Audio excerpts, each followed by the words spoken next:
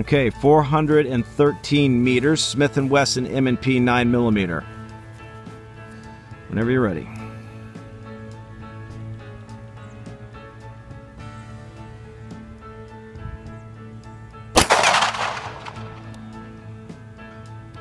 Hit!